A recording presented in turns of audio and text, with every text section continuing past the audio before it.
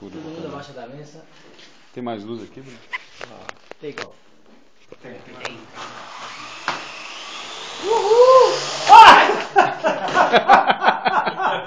Ataca o colombiano! Ele picou a coca facilmente.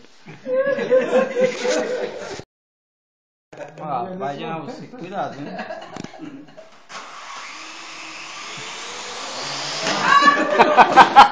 É como você é.